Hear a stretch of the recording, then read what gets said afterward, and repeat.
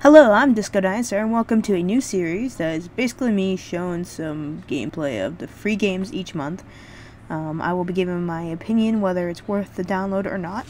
So basically, just sit back and watch me suck really bad at most of these games. Especially the one that's for this month. It really sucked. Anyways, the first game review I'm doing is on a previous game that was for actually the second one for last month, I believe, in February. Was called Project Cars. Um, this game was, eh, it was, eh, eh, eh, that's all I can say, really. Very, I'm not much really into racing unless it's on GTA 5, pretty much. Even then, I kind of suck. And I used to play a shit ton of Burnout back in the day when I was on the, the original Xbox. I loved that game a lot.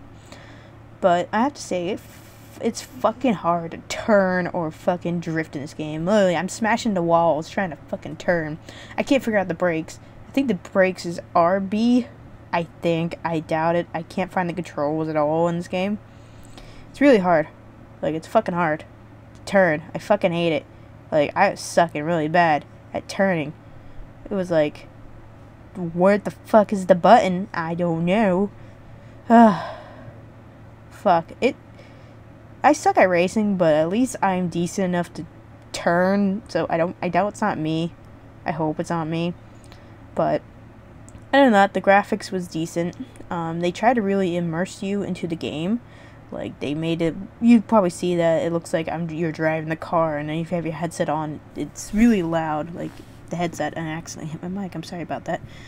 But um, it feels like you're driving it, even and like I said, you put your headset on and it sounds like you're really driving the game and everything, but I don't know. I don't think it's really worth the download, but still, eh, it's up to you if you really like the racing game scene or not. I don't like it that much. This game, it's not really the most fun at all. It sucked. It really sucked, especially when you can't turn for shit. I can't turn unless you go really slow and then you lose your place. But yeah, that's what I think of that game. Now for the other game, it is a horror game. It's called Layers of Fear. It's a horror game where your actions can change the ending. At least that's what I got from it. Like whatever you do in the game, it changes. But you you really walk really slow as fuck. But what you expect from most horror games that are like this, it's you walk slow for the fucking thing. But it's a game that really did keep me on my toes. I'm a big horror fanatic, so I'm used to playing games like this. It's, I don't know if I already had the shock to it. Well, not the shock, like, I don't really play horror games that much anymore because I lose that sense of fear. I don't know. Things jump scare at you, but it's usually the same thing. I really like a good horror game that has a good story, like Dead Space. I really enjoyed a lot. But this game, it was something I could really get into, actually, Layers of Fear. It's not something like like, oh, huh, it's like another ripoff of Amnesia or Out or Outlast or Outcast. Outcast is the band. Outlast is the game. Remember that? I doubt I will. But anyhow, um, the graphics really good. Like it felt like it was really good, and I was just playing this at night, of course, and it was really good just hearing and looking around, and it kind of gave me that sense of amnesia. If anybody knows what that game is, I probably do. It was really popular with all the video gamers recording and shit. But like I said, the graphics are good. Um, I definitely I didn't play too much into it because I I'm thinking about doing my own let's play in it because I think it'd be fun just to watch my reactions because I'm not really. I'm not saying I don't get scared. I'm just saying like it's hard to get me to be like oh screaming like how you see a lot of people on YouTube.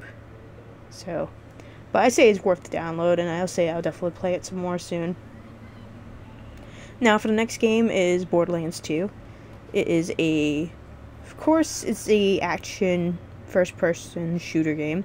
This game was originally on the 360, but now it's backwards compatibility. It's been for a while, but now it's free. So anybody who doesn't want to spend the five bucks, I guess, well, I don't know how much it is now. It's a really popular game still. Um, it's actually, I enjoyed it when I first played it a long time ago. So it's not much really much to say. Um, you're basically a vault hunter it's, of course, a, a second. It's a sequel. Oops, sorry, I almost burped there. And then I really love the character Claptrap. He's one of my favorite. He's funny as fuck. The scar- sarcastic little fuck. Um, the game, the game's graphics are decent for its time. Um, but I do enjoy playing again. It was nice, little homage. Again, I didn't play too much into it because I played this game out so much like I do with Skyrim. It's one of those games where I can go back and play it over and over, so I didn't play it too much when it first came back out. I already had it too. But basically you pick a character and you go around shooting shit on Pandora, which is the planet you're you're on. And I'm not gonna tell you much else about it because it, it like I said, it's one it's like a really old game, so everyone should know by now what Borderlands is. The iconic little little fuck on the on the cover. There I go, stuttering. But yeah, I say it's worth the download if you want to go download and play it yourself. I think it's really fun game. It's worth it for I don't know how much space it is.